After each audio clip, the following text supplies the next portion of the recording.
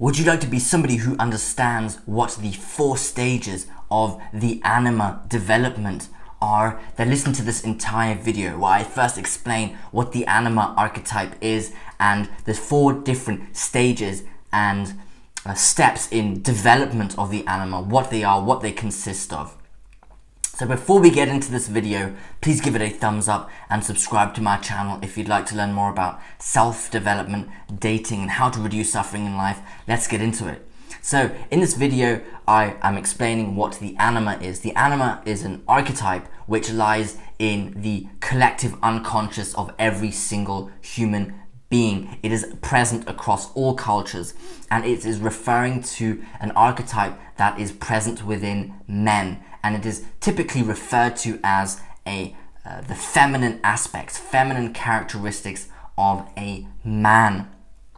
Now, in this video, I will be referring to content and re rephrasing content from the YouTube channel called The Diamond Net, which uh, has an excellent video on describing the anima and the animus, which I will leave in the description for you to look at.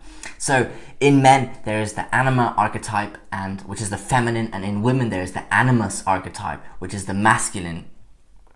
So, um, as I said, the anima is typically referred to as the feminine side of a man's personality. However, the anima is actually far more than that.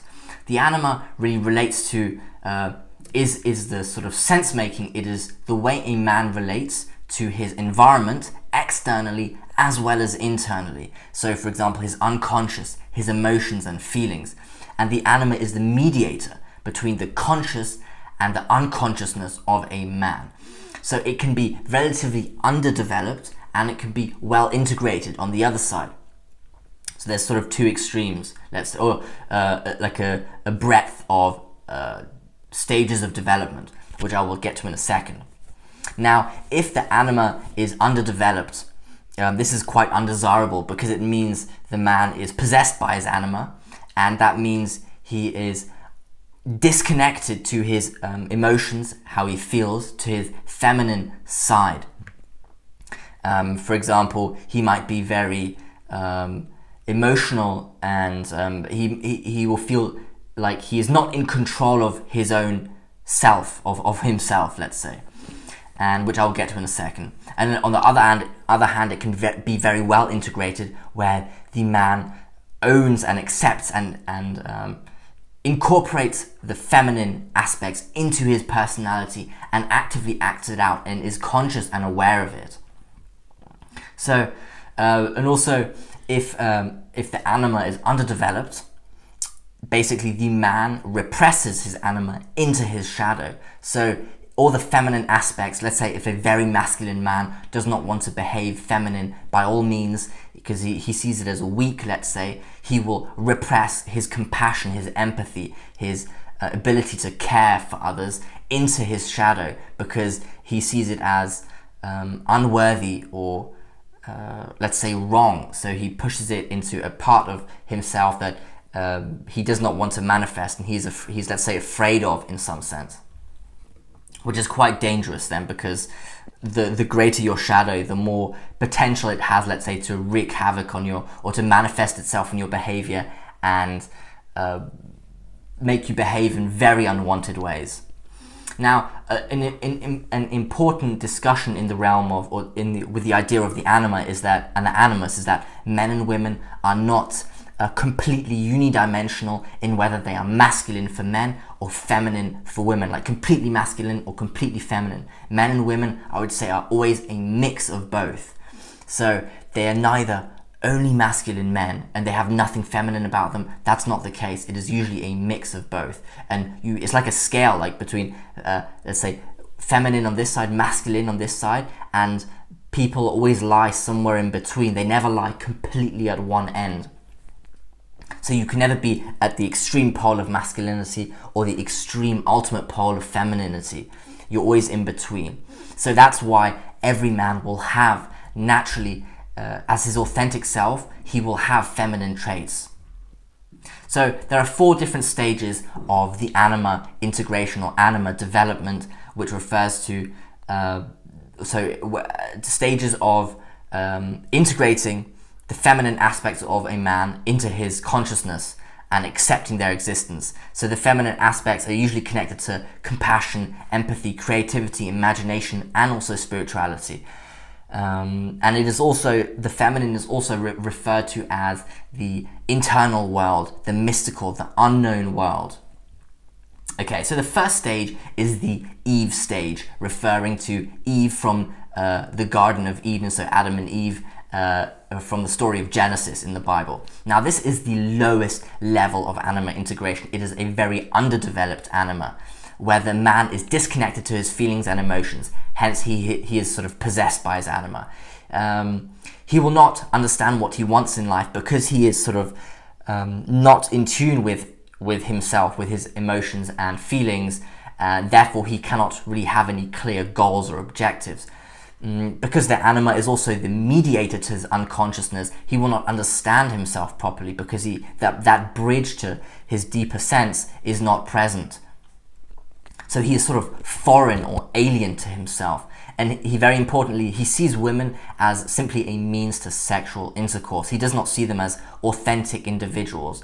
And he also sees them as manipulative and in charge because they control the outcomes of his sexual desires. They sort of pull the strings, they, are they call the shots according to a man in the Eve stage. And he also sees women as immoral. Now, in this case, a man would be possessed by his anima uh, and he feels powerless and not in control. Uh, and he can that can manifest itself as being relatively moody, overly emotional. Yeah. So the second stage is the Helen stage, referring to um, Helen of Troy. Now, in this stage, women are deemed as being uh, capable of success and are able, but they are still seen as not really virtuous in general and still controlling the man. Therefore, he feels like he is not in control over his own life. And a man in the Helen stage also has a lack of creativity and imagination because the anima is referring to these feminine, actually, typically, let's say, relatively feminine traits of creativity because it is like introspective and imagination. Um, hence, um, this man might have some direction but still lacks creativity. So in the third stage, uh, we have the Mary stage referring to the Virgin Mary, where the man can actually deem women as being virtuous and capable of doing good, but the idea of virtue is quite dogmatic and rigid. So the man has a rigid idea of femininity that does not allow for that, say, let's say, the variations and the complexity that occurs in reality. He's not fond of his own emotionality and uh, ways that are consi- um, and ways that are not coinciding with his dogma. So he doesn't like that. And this relationship to his unconscious is still quite basic and underdeveloped because he, he the unconscious is dynamic, peculiar, contradictory, which is not aligned with his dogmatic sense making. The fourth and final stage is the Sophia stage, which is referring to uh, the words or the de derivation of uh, the Greek word for wisdom, uh, which is Sophia, and the man has integrated his feminine side properly. He is able to view women as authentic individuals who are capable of both good and bad. He has access to his unconscious mind because the bridge, the anima, that mediator is present and he has integrated it relatively well into his consciousness. And he has access to wisdom now, hence Sophia. Um, and one thing that the, the, video by The Diamond Net uh, said very nicely, uh, the man is then able to apply his logos to the feminine eros. So the logos is um, sort of the energy of the, of the man, or let's say masculine energy, which is referring to the intellect, uh, the rational, the logical, and the uh, feminine energy is the eros, referring to compassion, um, care, empathy. And here now a man is able to relate to the, the to eros and be able to apply his rationality to the feminine side. Hence, they're sort of integrated into once and are more whole then. And um, yeah, uh, and the Diamond Net also said that according to Jung, uh, to Carl Jung, who set up this theory of the anima that men are ruled by the logos, which is the rational, logical, and intellectual, and women are ruled by eros, which is the loving, caring, compassionate, and unifying. And that was that's that's a quote from uh, the Diamond Net video on the anima and animus. And how do you um, get then from the stage of um, Eve to ultimately the stage of Sophia? Well, the key really I would say is that you need to um, acknowledge your emotional, as a man, you need to acknowledge your emotional side, your feelings, your feelings for compassion, and let, let's say the typically feminine aspect, and integrate them into who you are and actually own them, you know, really uh, value them for their, for their utility and be proud of them, let's say. Don't repress them. That's, I would say, roughly speaking, how you would uh, uh move into the uh, Sophia stage. And what one thing, one criticism I have of this four stages is that it's quite sort of vague, like um, between the stages, they, they seem to be very sort of intertwined. And to me, one could just say really the eros, uh, sorry, the anima is relatively un, uh, underdeveloped and or it is well integrated. Um, so the stages between them, I myself will still need to look into them more to really dive deep and really comprehend them more. But at the moment, I, I feel like they're quite vague still.